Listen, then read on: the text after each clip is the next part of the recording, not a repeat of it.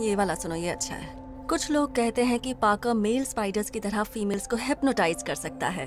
बस भी करो यार। जो हुक्म स्पाइडर लॉर्ड एमजे हम दिन भर ऊपर नहीं रह सकते। नीचे बहुत पागलपन है। सही सुना दोस्तों पीटर पार्कर ही स्पाइडरमैन है। आप समझते क्यों नहीं? मैंने मिस्टीरो को नहीं मारा है उसे ड्रोन्स ने मारा है। वो ड्रोन्स जो तुम्हारे थे। जो भी हुआ क्या तुम उससे जरा भी खुश नहीं हो? क्या मतलब? सब सच जान चुके हैं तो अब तुम्हें ना लोगों से झूठ बोलने की ज़रूरत है ना किसी से छुपने की। देखो मैं तुमसे तो छुपाना नहीं चाहता था पर दुनिया को कैसे कहता कि मैं स्पाइडरमैन हूँ? अब तो सबको पता चल गया देखो मुझे मेरी परवाह नहीं है पर मेरे लोगों को तकलीफ़ पहुँच रही है। मैं बस यही सोचता रहता हूँ कि इसे ठीक कैसे करूँ।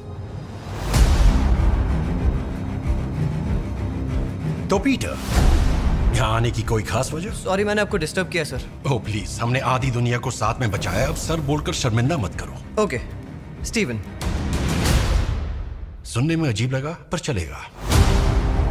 जब मिस्टीरियो ने मेरी पहचान से पर्दा हटाया तो मेरी पूरी ज़िंदगी बर्बाद हो गई।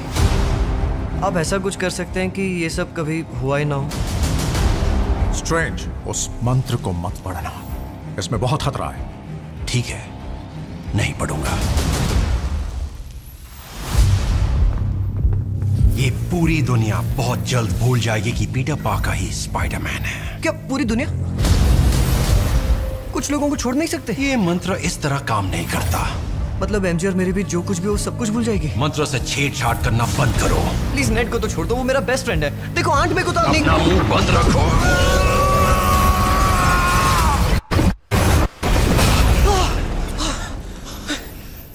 सब भूल गए क्या?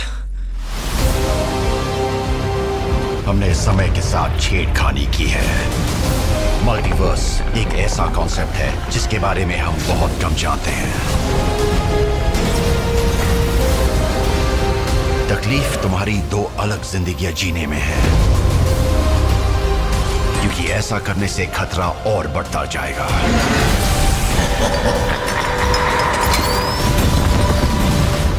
कुछ भी मांगने से पहले सोच लेना चाहिए, पाकर।